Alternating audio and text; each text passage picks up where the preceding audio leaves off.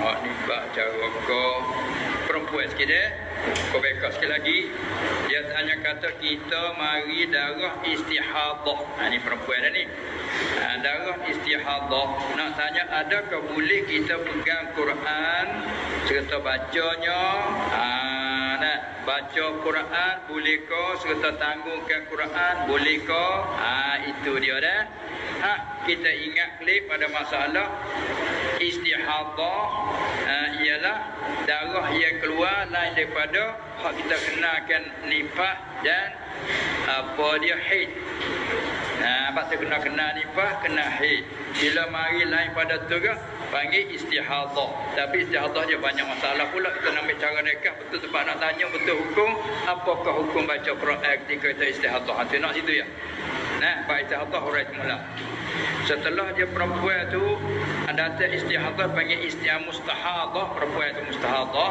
Biasanya dia duk mari tujuh hari. Seorang perempuan tu biasa adat dia ajak muda mula imari he tu ke. Tujuh hari awal bulan tujuh hari. Cuma lari sikit sebanyak je lah. Adat yang gitu. Bawa akhir-akhir jadi beranak jadi menyalahi luar biasa. Ha, bila beranak juga mari tu mari-mari panjang. Tak habis-habis 15 hari, 20 hari dah mari. Ha, mak bulan pertama kita berhati tengok dulu. Sebab bila mari lebih pada 7, 8, 9, 10 tu masih ada sebanyak-banyak. Hei, tiba-tiba lepas pada 15 tu mari lagi. Ha, nyata kata bukit hei dah ni istihadah.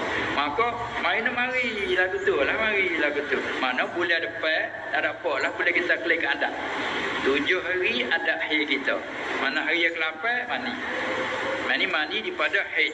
Lepas tu darah duk mari panggil darah istihadah.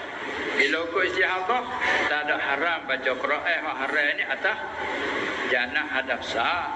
Nah, haid nifah tu hadap sah. Ni bukan haid bukan nifah istihadah. Ha, tak ada haram baca Quran. Haid sana kita mandi dah. Cukup tujuh hari kita mandi.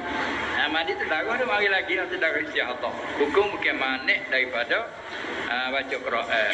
Bahkan wajib semaya. Ha, cuma cara dia tu nak semaya dia ada hukum tambah sikit lah. Bagi perempuan ni panggil salisid damin. Dia selalu keluar darah. Ha? Ha, darah istihadah. Masalah salisid damin juga. Ha, maka bagi orang tu hukumnya nak semaya tak boleh ambil wuduk sebelum. Kena nanti masuk waktu dulu. Bila masuk waktu, ha, sifat suci persiat, pak ambil wuduk. Ha, semaya.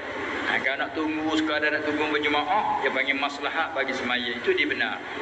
Kalau nak tunggu semata-mata tunggu tak boleh. Kerana apa? Kerana dia najis dia mari sokmo. Dia panggil nak taqlilal din najasah. Nak sedikitkan najis tak ada tunggu lama. Baca Quran tak ada haram. Tanggung Quran. Ha, tanggung Quran. Ha, tanggung Quran dia panggil apa tu? Ha, nah. Ha, kalau masa lama dia panggil hadas dia mari. Nah. Ha, bila hak dia, hak dia panggil apa ni? Dia panggil hadas. Ha, hadas kecil. Hadas kecil. Ha, nah. Bila dia keluar, berlaku tak ada wudu. Berlaku belah hadas kecil. Ha, nah.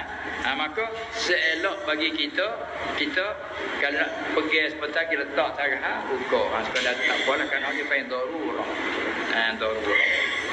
Baca tak ada repot. Ha, dan dengan suami pun tak ada repot.